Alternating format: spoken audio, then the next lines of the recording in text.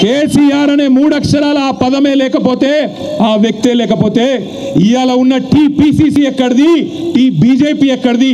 ఈ చిల్లర నాయాలకు ఆ పదవులు ఎక్కడి అని అడుగుతా ఉన్నా నేను. ఇవాళ మరుగుతున్న కుక్కలకు ఇవాళ మరుగుతున్న కుక్కలకు ఇవాళ మరుగుతున్న గాడులకు ఆ పదవులు ఎక్కడి? అది కేసీఆర్ పెట్టిన భిక్ష కాదా? తెలంగాణ ఎక్కడిది? వీళ్ళని దేకినోడెవడు అడిగినోడెవడు వీళ్ళని? వీళ్ళని ఎవడని అడిగిండా అసలు ఆంధ్రప్రదేశ్లో? అసలు ఈ చిల్లర బట్టె బాసగాలను ఎవడన్నా పట్టించుకున్నాడు ఆంధ్రప్రదేశ్లో? ఎవడి రేవంత్ రెడ్డి ఎవడా సంజయ్? ఎవడన్నా అసలు ఇన్నరా పేరు మీరు? వీళ్ళు కూడా మాట్లాడతారు ఇవాళ మొగోళ్ళ లెక్క ముంగడికి వచ్చి ఒకడు గింతుంటాడు ఒకడు గంతుంటాడు కానీ ఓ ఎగిరెగిరి మాట్లాడతారు. ఎగిరెగిరి పరుడు. ఆయన వయస్సు అంటే గౌరవం లేదు. ఆయన రెండు సార్లు ప్రజల చేత ఎన్నుకోబడ్డ ముఖ్యమంత్రి అనే సోయి లేదు.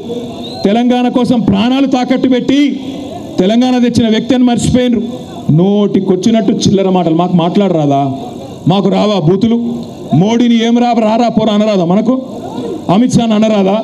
మోడీ బట్టెవాస్ గాడు అనరాదా?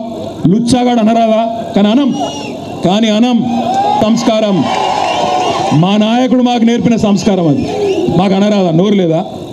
మాకు నోరిప్పితే నాలిక వాడు మొదలు పెడితే మాకంటే బాగా ఎవడు మాట్లాడలేడు మాకంటే బాగా ఎవడు వాడలేడు. చిల్లర నాయాలు ఎవడు పడితే వాడే ఎటు పడతాడు మాట్లాడతాడు. వాడవాడు అంటాడు? ఒకసారి ఆ కాగితం ఇయ్యి. నిన్న చూస్తాను నేను. ఆ తంబాకు బుక్కెటాడు ఒకడున్నాడు ఆ చిల్లరగాడు. వాడు మాట్లాడుకుంటూ తిరుగుతాడు పాలమూరులో. వాడిని గెలిపించింది కరీంనగర్లో ఎంపీ. ఆగు రాగు రాగు అందరి గురించి చెప్తావు. వాడిని గెలిపించింది కరీంనగర్లో. కరీంనగర్లో ఏం పీకిండ్రా అంటే పీకిదేం లేదు. కానీ అక్కడ తిరుగుతాడు పోయి. అమ్మకు అన్నం పెట్టినాడు చిన్నమ్మకు బంగారు గాజులు చేయిస్తాను బయలుదేరి గాడి తిరుగుతాను ఒకడు అంటాడు తల్లిని చంపి బిడ్డను వేరు చేసి నన్ను ఒక చిల్లరగాడు అంటాడు. ఇంకోడేమో అరే వడ్లు కొనరా బియ్యం కొనరా అంటే మీ వాళ్ళకి నూకలు దింపి పోన్రి అని ఇంకో చిల్లరగాడు అంటాడు. వాళ్ళు చిల్లర పాట బేకార్ పాట బ- డఫర్ పాట ఏం పాట అనాలి వాళ్ళని బఫూన్ గల పార్టీ. ఇంకా చిల్లరగాలి ఎంత చిల్లరగాలంటే నలుగురు ఎంపీలు ఉన్నారు వీళ్ళకు. నలుగురు ఎంపీలు ఉన్నారు. వీళ్ళ పరిస్థితి ఏంటంటే చెప్తావు ఒకనికేమో కరీంనగర్లో దిక్కు లేదు కానీ పాలమూరు లేదో పిక్చర్ ఆడ తిరుగుతాడు వాడు. ఇంకొకనే ఆయనేమో నిజామాబాద్ ఆయననేమో ఆయననేమో బాండ్ పేపర్ మీద రాసిచ్చిండు. రోజుల్లో నన్ను గెలిపిన్రి ఐదే ఐదు రోజుల్లో పసుపు బోర్డు తెస్తా తేకపోతే రాజీనామా చేస్తా అన్నాడు. ఏడవైంది మరి పసుపు బోర్డు? అడ్రస్ ఉన్నదా ఆయనకి ఇవ్వాలా ఏది పడితే అది మాట్లాడతాడు చిల్లర మాటలు. నోరు తెరిస్తే కేసీఆర్ మీద బూతులు తప్ప ఏమైనా వస్తుందా ఆయనకు? ఇవాళ అదొక కేసు ఇక ఇంకో కేసు. ఆదిలాబాద్ ఆయన ఉన్నాడు. ఆయన ఎందెందెందో మాట్లాడిండు. సిమెంట్ కార్పొరేషన్ ఆఫ్ ఇండియా తెరిపిస్తా అన్నాడు ఆదిలాబాద్లో. ఇప్పటివరకు అత్తలేదు పత్తలేదు. దాన్ని కూడా అమ్మే చక్కర్లు ఉన్నారు వాళ్ళు. ఇక ఇంకొక ఆయన ఉన్నాడు సికింద్రాబాద్లో గెలిచిండు. ఇవాళ కేంద్ర మంత్రి. ఎంత సిగ్గుచేటంటే ఈ కేంద్ర మంత్రి కిషన్ రెడ్డి. ఆడ మాట్లాడుకుంటూ మాట్లాడుకుంటూ ఏం మాట్లాడతాడు? ఇగో ఈ ఊళ్ళో ఉన్నాయని మా మోడీ ఇచ్చినాయే. మోడీ పైసలతోనే నడుస్తుంది ప్రభుత్వం. మోడీ పైసలతోనే నడుస్తాంది తెలంగాణ అని ఒక చిల్లరగాడు మాట్లాడతాడు. ఇక వాణి కూడా చెప్తున్నా లెక్క. రాసుకో.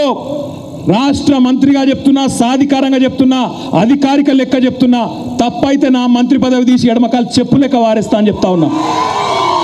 ఈ ఏడున్నరేళ్ళలో ఈ ఏడున్నరేళ్ళలో తెలంగాణ ప్రభుత్వం తెలంగాణ ప్రజలు తమ చెమట రక్తం అన్ని దారబోసి నీ కేంద్ర ప్రభుత్వానికి పన్నుల రూపంలో కట్టింది మూడు లక్షల అరవై ఐదు వేల ఏడు వందల తొంభై ఏడు కోట్లు.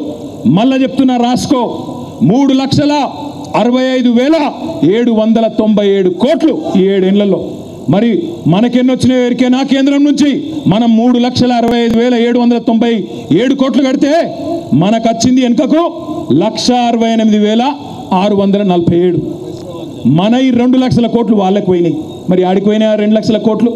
యాడికి పోయినాయి అంటే వాడెవడో యోగేట. వాడు ఉత్తరప్రదేశ్లో బుల్డోజర్లు పెట్టి ఇల్లు కూల ఒక బుల్డోజర్లకు పోయినాయి మన పైసలు. ఇంకో వెనుకబడ్డ బీజేపీ రాష్ట్రం యూపీ ఎంపీ బీహార్ ఇంకోటి ఇంకోటి. ఒక గాఢ తెలంగాణ బిడ్డల చెమట రక్తం గాడున్నది.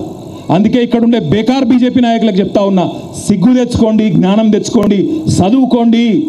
చదువుకోండి అంటే వాట్సాప్ యూనివర్సిటీ ఒకటే తెలుసు వాళ్ళకు. మిగతా ఏం తెలివై కుల్లా చెప్తున్నా నేను చెప్పింది తప్పైతే నా మంత్రి పదవికి రాజీనామా చేస్తా. నేను చెప్పిన లెక్క తప్పైతే నా మంత్రి పదవిని వదిలిపెట్టి సాధారణ ఎమ్మెల్యేగా కొనసాగుతా. నేను చెప్పింది తప్పని దమ్ముంటే ఏ భారతీయ జనతా పార్టీ నాయకుడైనా రుజువు చేయాలని చెప్పి సవాల్ చేస్తా ఉన్నాను